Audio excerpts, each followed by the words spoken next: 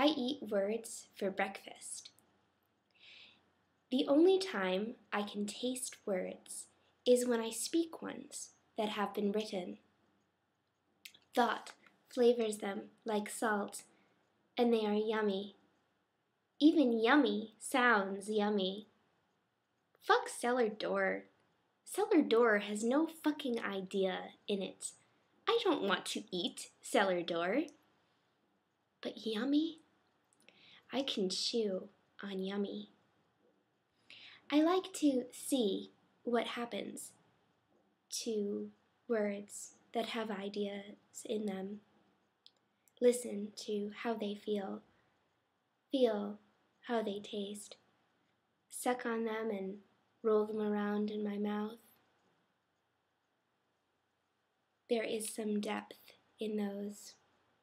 Filled only halfway and daring you to guess if they're half full or half empty, and daring you to finish filling them yourself. While each stroke of sound pulled into the air is melting like sugar in iced tea. Especially poetry, where meanings seep through words that are only the vehicle for their expression. There are different kinds of tea, you know. So we don't have to wonder where meaning resides, because it pervades through us, through every word. Those words taste like cotton candy in my mouth. A split second, and they have gone into my tongue. Then I'm sure I can still taste them, even after I stop eating. Then I think I'm okay, but then I get a sugar rush. This melting is like how when I when you see a really good movie in the theater and when the movie is over, everyone gets up and leaves right away. And I think they're all stark raving mad. Every time, every time I see a movie, because I need to sit and absorb the light sound transformation that just happened before my eyes, like butter into popcorn. And more importantly, the ideas conveyed therein. Those last longer than the popcorn smell stuck to my clothes. Words are so powerful, in fact, that we invented the idea of magic spells that control the uncontrollable with pre thought speech.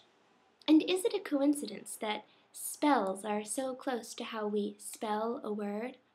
Spell it. Spell it out. Spill your words out. It's got something to do with stitching words together. It seems so taken for granted. But the pattern works so well. Words do so much because we do so much by words, with words, because of words. They must be magic. I eat words with my eyes when I read them. I eat words with my pen when I write them.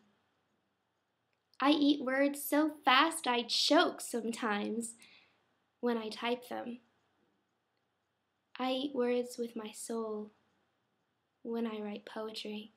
Someone recites to me, and did you like that poem? All I can say is marshmallows.